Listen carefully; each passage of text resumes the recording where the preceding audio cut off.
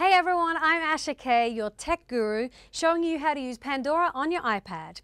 Pandora is a great application to have if you've never heard of it before and you are a music lover like me and constantly listening to music, this is the app for you.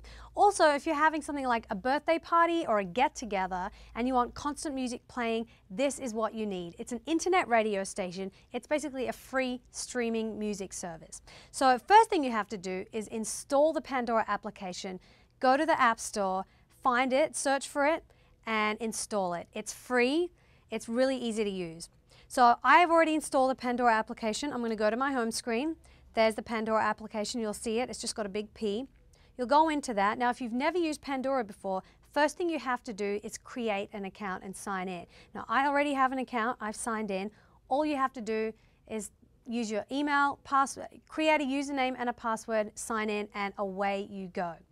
Okay, so once you're in Pandora, you're going to want to start listening to music. And the basic premise of it is to create your own individual radio stations that are basically tailored to your music choices. So I've already got a few radio stations listed down the left, hand side here, but we're going to find a new radio station from scratch. So for instance, if you like Carrie Underwood, she's a really great artist, very popular, you're going to go to the search box on the top left hand side here and you're going to type in Carrie Underwood. Now as you're typing, it'll automatically come up with a selection of names. So Carrie Underwood is the first name that has come up. I'm going to click on that. And all of a sudden it has created the Carrie Underwood radio station. So it starts playing. I'm just going to pause that.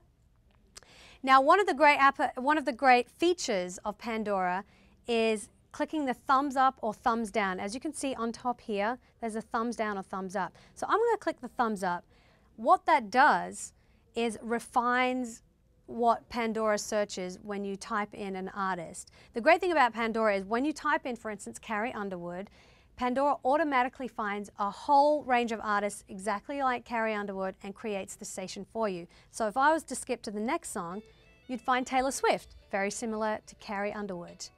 Um, now, it's not just artists you can type in and create a station, it's also individual songs. Same exact concept. Type in a song, Pandora finds similar songs and there you have a new station. Now the other thing I want to show you how to do in Pandora is to delete a station. So if you're sick of listening to Carrie Underwood, you listen to it every day, that's it, you want to find a new artist, all you have to do, swipe it like that and click on the delete icon.